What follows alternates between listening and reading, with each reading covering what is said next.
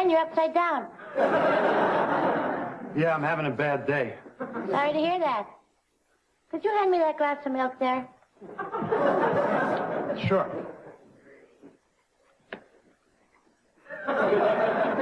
Could you drink it for me? Jane, why don't you come down and drink it yourself? Come on down. Easy, easy. Oh.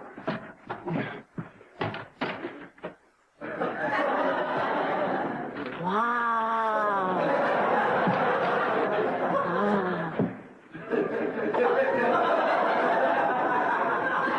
Where's Laura? She went to aerobics class. She said she had to work off some anger. I expect her back in November. She was pretty mad, huh? Mad as a hat rack. Let me give you some advice, Ben. After hanging upside down for six hours, you begin to see things differently. And I think I can tell you what your problem is. You're afraid to let Laura read your book. And I think I can tell you why you're afraid. Why, Jane? Oh, God, it went right out of my head. Maybe if I get back up on that thing, it may come back to me. Jane, I need to talk. And I may as well talk to you because I know you won't retain it. Shoot. The thing about the book is, I'm afraid Laura is going to see things in there that I don't want her to see. It's not like my other books. It started out as a detective story, and it somehow turned into a love story about this incredible woman who's just like Laura. Jane, sometimes it's it's easier to write things than to say them. I mean, I've I've written a lot of things about the way I feel about Laura that I haven't even said to her. Why are you telling me? Why don't we go tell Laura? Uh, I'm afraid of scaring her off. Ben, she lives with me. she doesn't scare easily.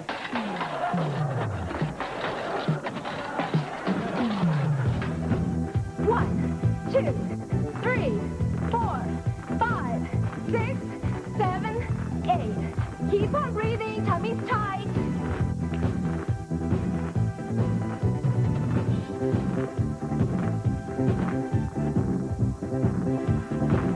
Hi.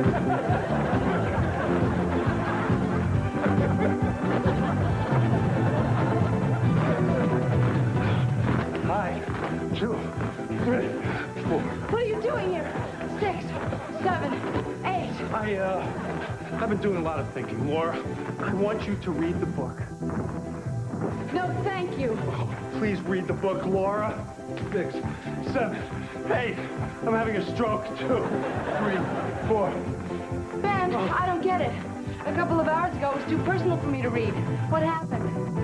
Jane and I had a little talk, and I came to my senses. Jane who? Your sister, the student of human nature. Three, two, one. Laura, know that you think that my book is the most important thing in the world to me. But you're wrong. You are. I guess it's time that I told you that. It's all in the book. Read it. Knowing that you want me to is enough. I, I, I don't need to. Oh, it, it really isn't enough. Oh, but it is. Oh, but it isn't. I want you to read the book, Laura. Ben, I don't have to. The book is insignificant. Laura, read the book or I'm never talking to you again. Okay, okay, I'll read the book. I'll be in the locker room. Wait for me here. Okay. Look, this isn't a meditation class. Come on, get your legs up. Oh, God, I hope she reads fast. Thousand two, one thousand three, one thousand four. Jane, I forgot to breathe. Oh, it's an easy mistake, Ben. I forget for days at a time. Ben, are you all right? Oh, Flora, you want to go get my left lung? It's over there in the corner. We had a little disagreement. Let me help you up. No, wait. First, I want to know how you like the book. Oh, Ben. Oh, you hated it. Ben! Oh, I knew I shouldn't have let you read it. Ben, I loved it. It was smart, clever, exciting, sexy. Sort of like the guy who wrote it. What I don't understand is do you write the cliff notes now or does someone else do that later? Cliff does that later. Oh. Jane. Thanks. You're welcome.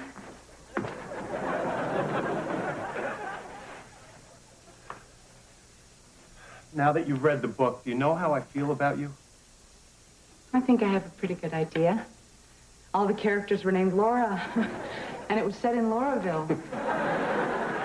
ben, you shouldn't have been afraid to show me the book. I loved it, and I loved what it said about us. Did it scare you? A little, but mostly it made me happy. I hope this makes you happy, too. I wasn't going to show it to you unless you liked the book. It's the dedication. To Mom. What? That was in case you didn't like it. This is the real one.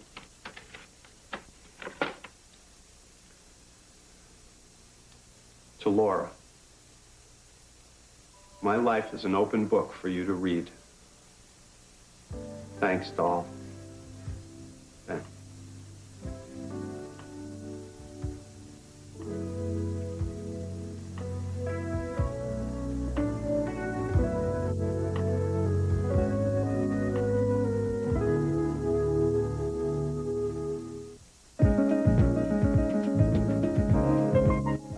Tonight, starting at 9, it's a Lifetime Hot Friday night. First, Catherine Oxenberg struts her stuff in swimsuit on the Lifetime Evening Movie, followed by A Party of One with the Queen of Stand-Up, Elaine Boosler. Then join Phil Collins, Elton John, and the top names in rock for Prince's Trust Rock Gala. Now, stay tuned for L.A. Law next. Sit, Ubu, sit. Good dog.